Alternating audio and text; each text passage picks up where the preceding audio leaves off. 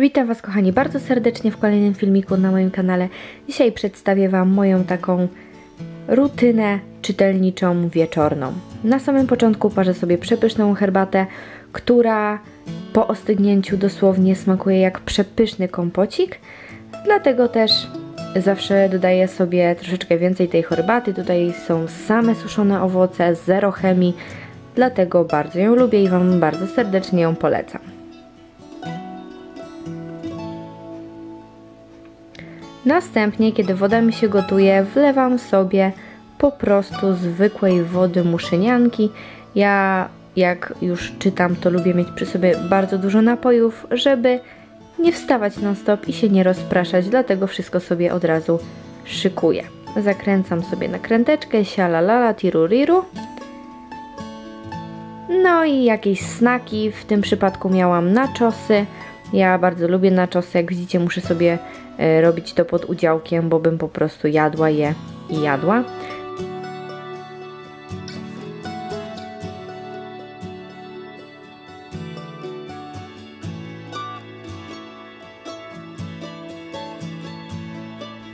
I wszystko powolutku zanoszę do swojego stanowiska czytania.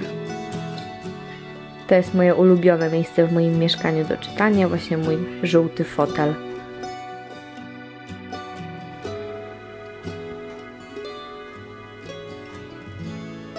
Następnie, jak herbatka mi stygnie, wszystko mam przy, przygotowane, wtedy idę zmywać makijaż, bo powiem Wam szczerze, że jakoś tak nie za bardzo przepadam za tym, żeby mieć makijaż na sobie wieczorem, kiedy już czytam książkę. Jakoś tak średnio się z tym czuję, dlatego wszystko sobie ładnie zmywam. Myję twarz czystą wodą letnią.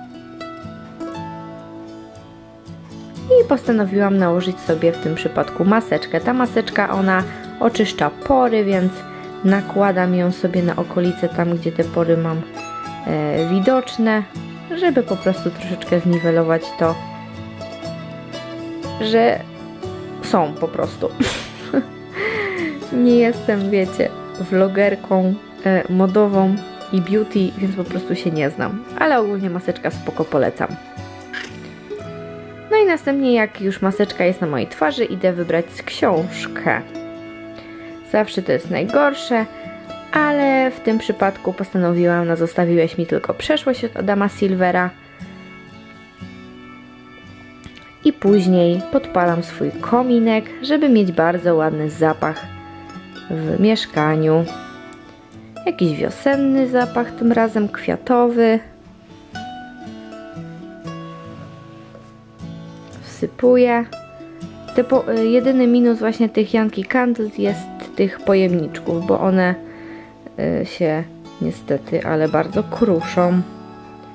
Podpalam i zapach przepięknie unosi mi się. Jeszcze do dodania klimatu zapalam sobie lampeczki, które mam właśnie przy oknie na karniszu i następnie otulam się jak mało eskimos kocykiem, żeby na pewno żadne zimno mi nie przeszkodziło i nie dostało się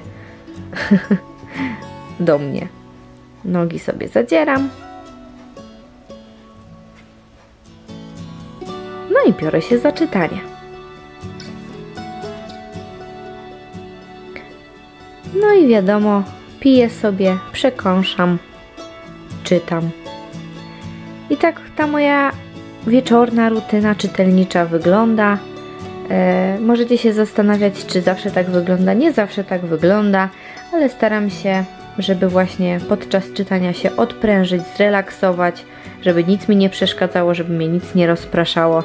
Zazwyczaj telefonów wtedy również nie używam. E, internet jest wyłączony i tak właśnie sobie spędzam wieczory czytając. Jeśli spodobał Wam się ten filmik, nie zapomnijcie zostawić łapki w górę. Ja Wam bardzo serdecznie dziękuję za oglądanie. Trzymajcie się ciepło i do następnego. Cześć!